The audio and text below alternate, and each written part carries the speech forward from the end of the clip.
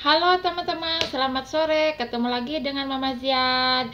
Halo teman-teman yang ada di Saudi, halo teman-teman yang ada di Taiwan, yang ada di Singapura, yang ada di Hong Kong, di mana pun berada. Nah, kali ini Mama Ziad mau berbagi pengalaman yang memang uh, boleh kalian tiru karena pengalaman ini udah Mama Ziad buktikan dan terasanya alhamdulillah. Kenapa sih Mama Ziad sampai dua dengan jangka 2 tahun Mama Ziad bisa membangun rangkai ya kan? Jadi Mama Jad itu bukan pamer atau bukan sombong memamerkan harta. Bukan seperti itu. Hanya tujuannya. Ayolah teman-teman BMI yang di luar negeri eh, mulailah hemat dari sekarang untuk membangun rumah atau membeli mobil atau membeli sawah. Ayo jangan jangan banyak boros-boros seperti itu. Biar kalian gak menyesal di akhir nanti. Ya pasti menyesal kalau datang ke rumah. Uang habis kita menyesal. Dan harus kerja lagi. Itu kayaknya males banget capek gitu ya. Nah kenapa sih Mama Jad bisa dengan jangka 2 tahun bisa bangun rumah walaupun rangkai ya kan dengan keterbatasan keterbatasan kemampuan Mama Jad lah seperti itu. Akan berbagi tips yang paling ampuh buat teman-teman. Mama Jad dulu waktu ke sini masih potongan 9 bulan. Ya kan Mama Jad itu punya mertua di gunung dan banyak tetangga yang memang eh, apa beternak Megarut dan Mama Jad juga kepingin e, beternak Megarut. Mama Jad hari itu punya uang sebesar 8 juta dan dibelikan Megarut e, dua bikang ya kan karena doma satu itu 2 juta.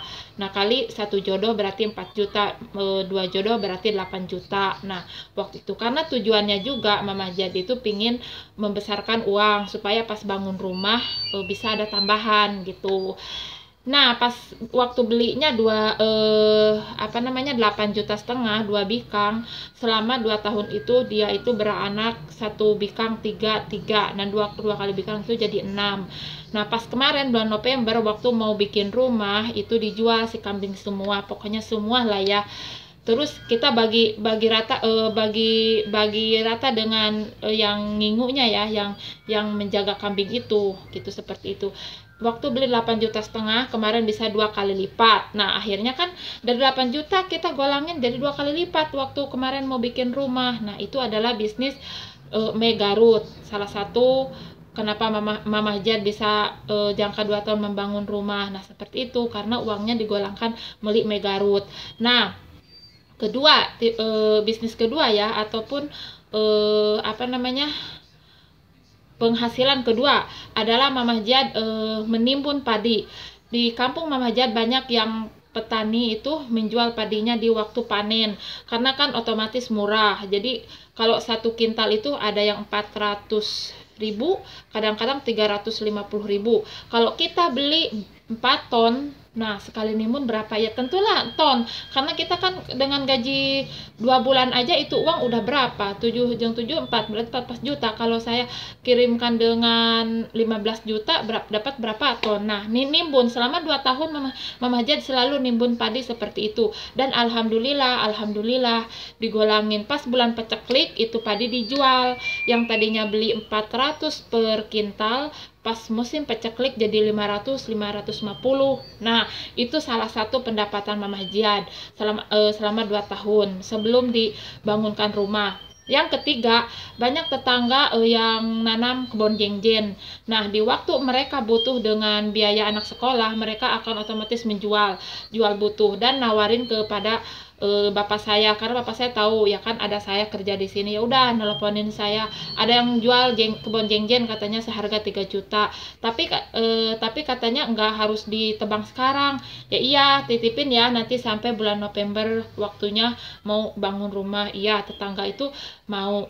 Nah seperti itu. Jadi ada yang jual jeng-jeng mamah jihad beli. Bukan satu lahan aja ada dua lahan tiga lahan empat lahan. Ada yang dua juta ada tiga juta empat juta kecil-kecilan kayak gitu.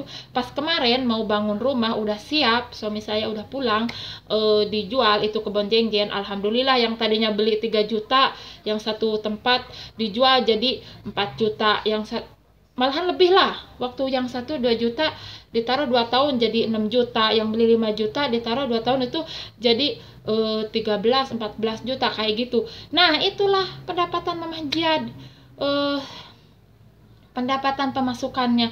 Jadi dalam jangkau 2 tahun Mama Jad bisa membangun rumah karena itu tadi. Satu bisnis megarut, kedua uh, adalah nimbun padi, ketiga adalah membeli uh, apa nama kayu jengjen seperti itu. Dan kayu jengjen itu ada banar cepat nggak diborong gitu. Jadinya alhamdulillah itu uang. Makanya Mama Jian selama 2 tahun bisa membangun rumah rangkai seperti itu, seperti itu. Itu masih rangkai ya teman-teman belum jadi.